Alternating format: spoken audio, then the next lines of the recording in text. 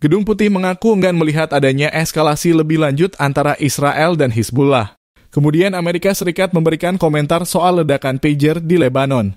Pada Selasa 17 September 2024, juru bicara Departemen Luar Negeri AS Matthew Miller menegaskan bahwa Washington tidak terlibat dalam serangan itu. AS bahkan mengaku tak diberitahu sebelumnya bahwa serangan itu akan terjadi. Saya akan katakan bahwa kebijakan kami secara keseluruhan tetap konsisten, yaitu kami ingin melihat penyelesaian diplomatik atas konflik antara Israel dan Hizbullah, kata Miller. Kami selalu khawatir tentang segala jenis peristiwa yang dapat menyebabkan eskalasi lebih lanjut, paparnya dikutip dari Al Jazeera. Pernyataan Miller muncul setelah pemerintahan Biden didesak untuk memberikan tekanan pada Israel agar mengakhiri perang di jalur Gaza. Diketahui Hizbullah mengklaim Israel bertanggung jawab atas ledakan pager yang menewaskan sembilan orang.